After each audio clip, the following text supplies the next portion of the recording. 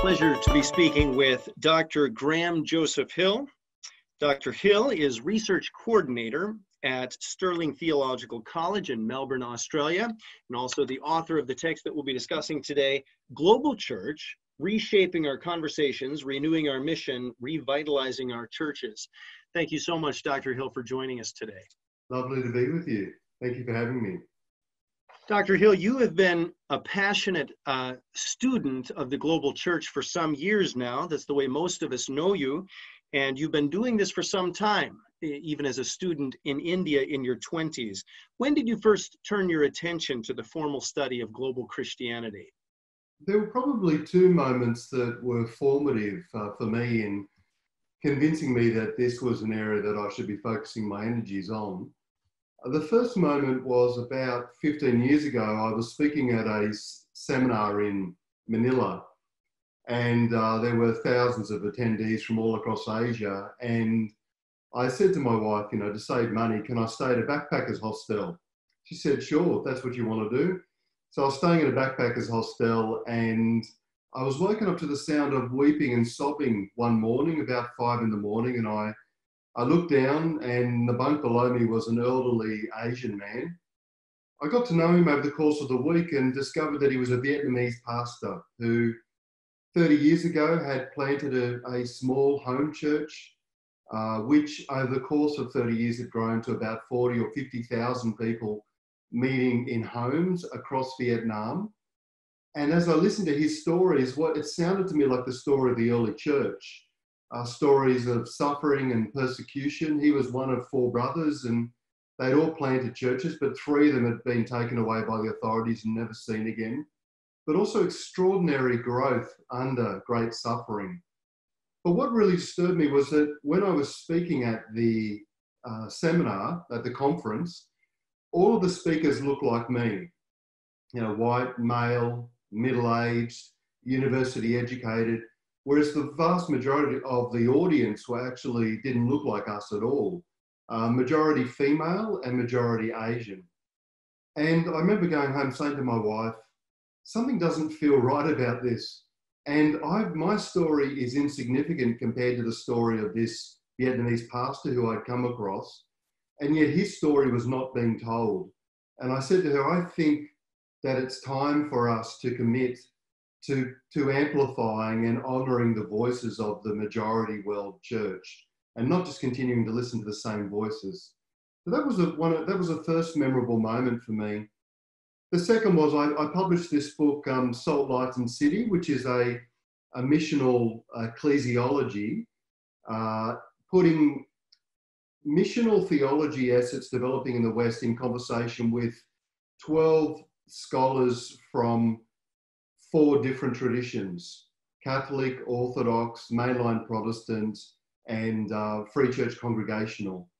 And the book has, has got a lot of traction, which has been good. But one of the, the criticisms that came back from reviewers was that the vast majority of the authors, uh, theologians that I'm engaging with, are Western theologians. And what's to say that they're the most insightful theologians about the mission of the church today? And that was a moment for me as well, where I, in order to head off criticisms uh, of my book, in the final chapter, I said, I'm going to commit myself to producing a series of books that look at majority world theology. You know, and I'm one of these guys that once I commit myself to something like that, then I'm stuck and I have to do it. so over the last um, five or six years, I've committed myself. The second volume, which will come out, looks at 25 majority world theologians and what they say about the mission of the church. And of course, as you've alluded to, I also produced this book on global theology. Oh, wonderful. Dr. Hill, uh, you produced, I think the year was in 2015, you produced 140 video interviews with leaders of the global church, which is really a, a staggering uh, accomplishment, especially as I understand that almost all the film work, or perhaps all the film work, was done in person, in studio with these leaders.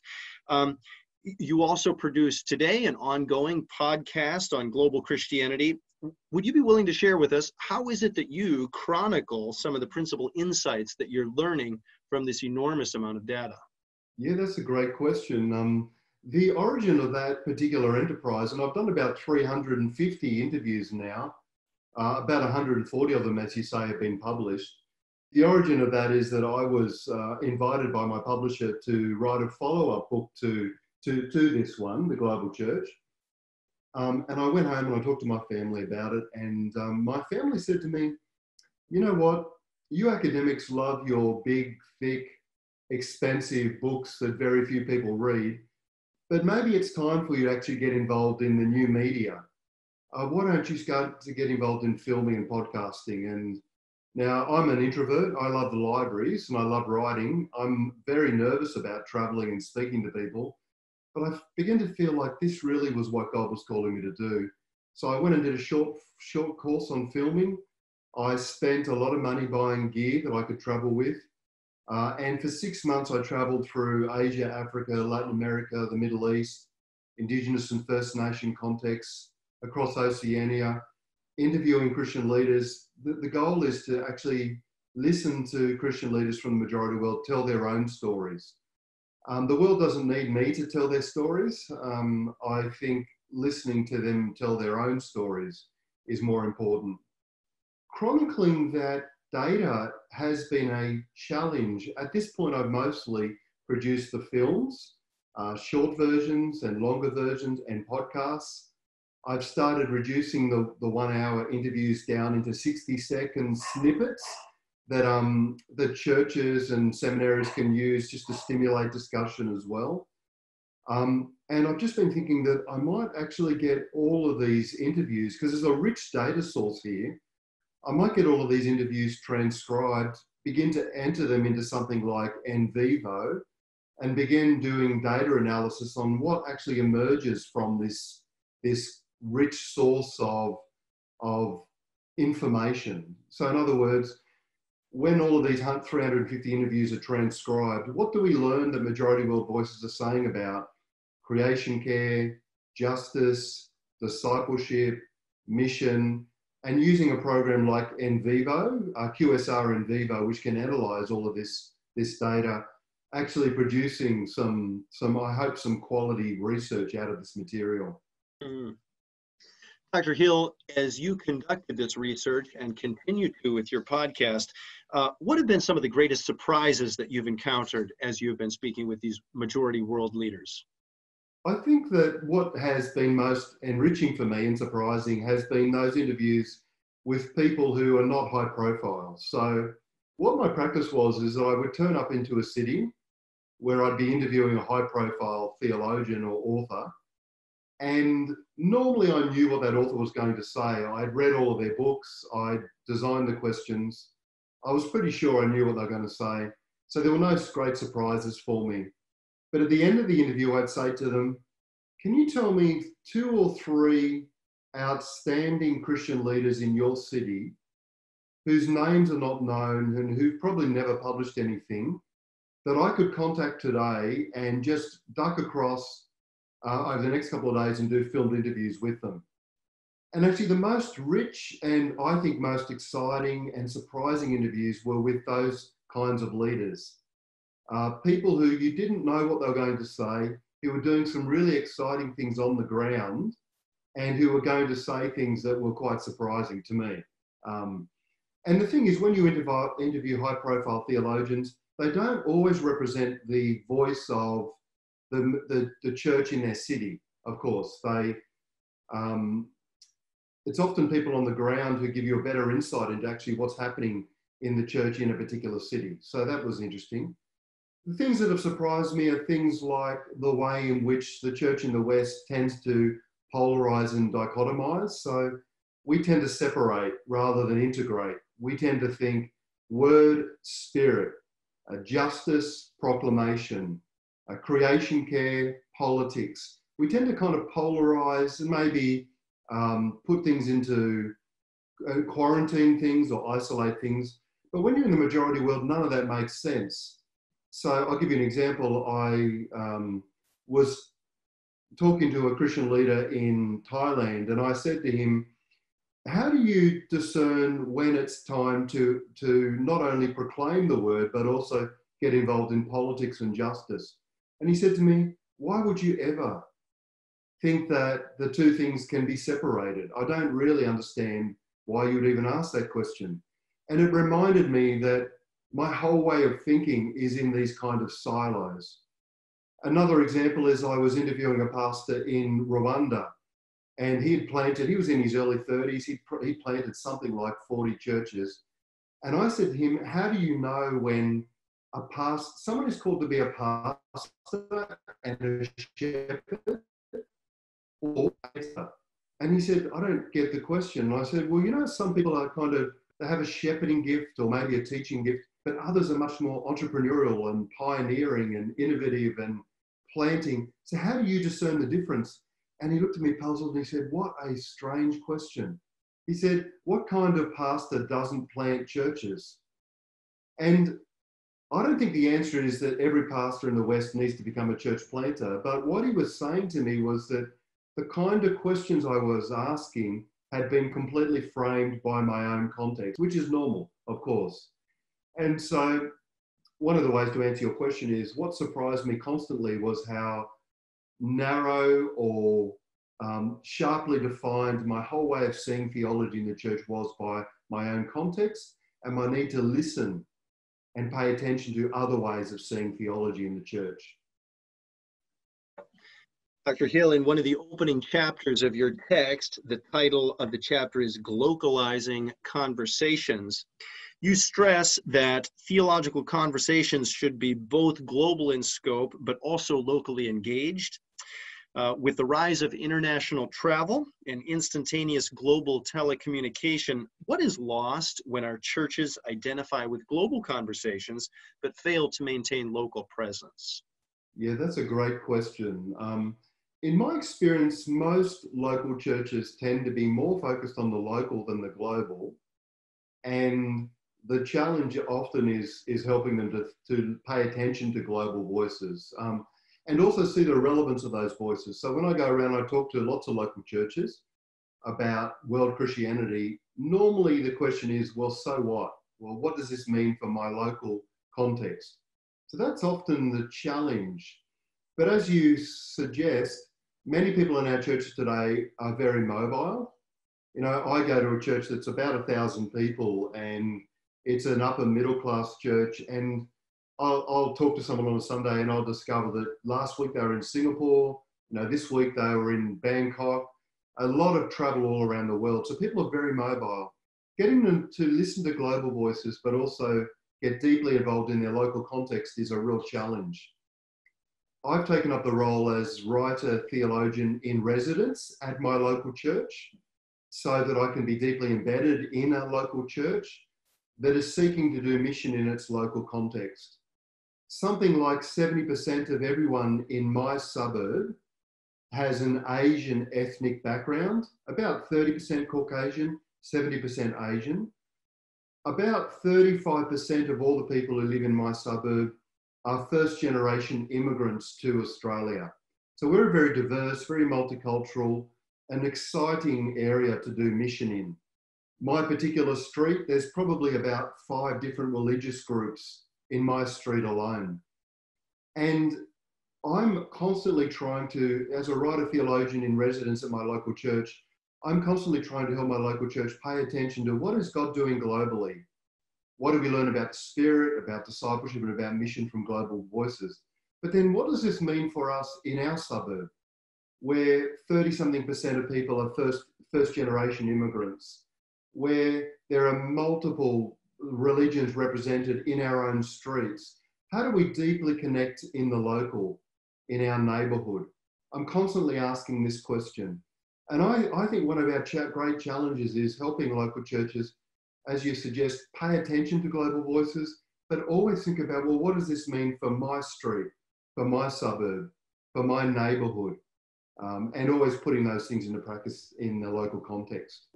Dr. Hill, there are many schemata to attempt to explain the differences between Western and Eastern theology. Um, what is your preferred paradigm? This is a really good question. Um, I haven't settled on a particular paradigm. I've enjoyed the work by Timothy Tennent um, and his examination of theology as it's developing in the, in the majority world in the global south. You know, he suggests, for instance, that it's important for us to remember that majority world Christians, um, by and large, are more conservative, uh, traditionalist, or orthodox, if you want to use that word.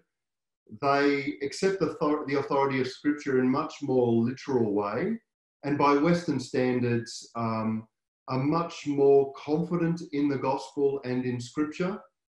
Um, he suggests as well that majority world Christians are likely to be much more morally and ethically conservative. Um, the majority world Christians are much more interested in poverty and justice and in integrating proclamation of the word with things like creation care, certainly in some contexts, not in all, but, but um, addressing issues of uh, public policy, political life, racial reconciliation, social justice, and poverty. The majority world Christians are engaging with theology in much more pluralistic context than we've traditionally know in the West and have a lot to teach us um, in pluralistic contexts where we are rapidly becoming the minority, certainly in countries like Australia, if, you know, if not necessarily in, in the United States. And majority world Christians are also thinking a lot more about the kind of corporate dimensions of Christianity, Christianity as opposed to the individualistic dimensions. I like the way that he challenges us to think about the kind of um, translatability of majority world theological insights, recognizing the key themes, the key trends and habits, and then trying to do the work of translating those into our own context, which can be quite different if we just take the insights of majority world theology and try to apply them, or majority world practices and try to apply them in our own context, in some senses, that's kind of another form of colonialism or paternalism. Um, it doesn't really honour the uniqueness of the insights and trends in those contexts. We're much more honouring if we list, pay attention to the voice of the Spirit in those contexts and then attempt to translate, to contextualise, to apply those insights in creative um, and Christ honoring ways in our own context. So I don't have a particular schemata, um, although the work of Timothy Tennent has been quite helpful for me as I began to frame this conversation. Hmm. Dr. Hill, there are a lot of changes afoot in the world today. Technology is certainly creating new streams of communication for people all across the globe. What's your view? Are centripetal or centrifugal forces predominating in global Christianity today? That is to say, is the Christianity represented in Africa, Latin America, Oceania, etc.? Are those Christianities coming closer together or spinning further apart? This is a really good question. I think my my gut feel is that they're spinning further apart, and that we're becoming more isolated, more um, potentially more uh, polarized than in the past. So there are competing forces, as you suggest. So on the one hand, I've been encouraged by the way in which people are listening to voices that are other than their own. Um, you know, so uh, our global, the Global Church Project website, for instance, had about 600 or um, 650,000 visits last year from every country in the world, from persons from every country in the world except for four. And that encourages me because I think there is an interest in listening to global voices. And most of the major theological colleges and seminaries in the United States now are starting programs in world Christianity and global theology. So there is a growing interest in listening to global voices. That's encouraging. But I don't think it's the major, I don't think it's the dominant force. I still think the dominant trend today is towards antagonism, conflict, isolation, uh, fear, and retreat from the other. I think the trend, and there's a various ways we can look at this trend sociologically, but the trend is to is to fear, uh, to criticize, to be suspicious of the other, uh, the theological other, the ethnic other, the sexual other, the racial other, and to not listen to the other and the voice of the other uh, in such a way that we can grow and become unified and develop. So there are competing forces. But I think the trend is away from unity and away from attentiveness and away from honor. And those of us that are committed to world Christianity and to unity need to do everything we can to push back constantly against that trend, I think. Dr. Hill, if we can close this interview with an interview question that I've been asking everyone on this program, and that is this What would it mean for the church to be united today? How would we recognize this unity, and what is it that we can do as individual Christians to pursue the unity for which Jesus prayed in John 17? I think it begins with a cultivating a spirit of honor and attentiveness. Honor and attentiveness go hand in hand. So one of the reasons why I started the Global Church Project is because I want Africans to listen to Asians, Asians to listen, listen to Middle Eastern, Eastern thinkers, Middle Eastern theologians and Christians to listen to the voices of Latin America, Latin Americans to listen to Australians, Australians to listen to Americans, and possibly even uh, those from the United States may begin to listen to Canadians. Uh, that was a bit tongue in cheek. Um, but I'm, I dream of a church where we honor each other, where we pay attention to the voices of other traditions and cultures and theological perspectives. I think unity is cultivated with a humble, generous, attentive, prayerful spirit um, that prefers the other, that listens to the other, that honors the other in every way possible. When we have that kind of spirit, we can know the kind of unity that Jesus suggested was important, that expresses a kind of love that the world sees and knows that we are Jesus' disciples. It's been our honor today to be speaking with Dr. Graham Joseph Hill research coordinator at Stirling Theological College in Melbourne, and the author of the text that we've been discussing today Global Church Reshaping Our Conversations, Renewing Our Mission, Revitalizing Our Churches. Dr. Hill, thanks so much for being with us today. Thanks so much for having me. It's been a great pleasure and it's been wonderful speaking with you.